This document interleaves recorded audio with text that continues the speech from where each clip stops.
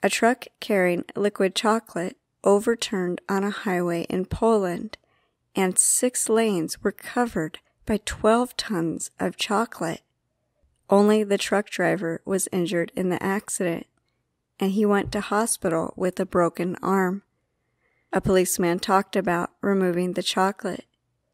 He said that people used warm, pressured water to clean the highway.